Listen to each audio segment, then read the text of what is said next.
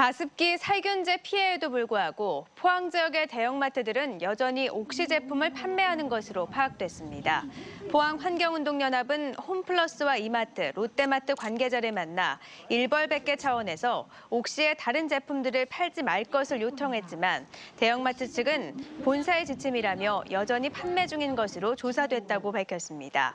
포항 환경운동연합은 지난 2013년 7월부터 지난달까지 가습기 살균제 피해자로 신고한 사람은 모두 2,339명이고 이 가운데 464명이 숨졌다며 대형마트는 모든 매장에서 당장 옥시 제품을 거둬들이라고 촉구했습니다.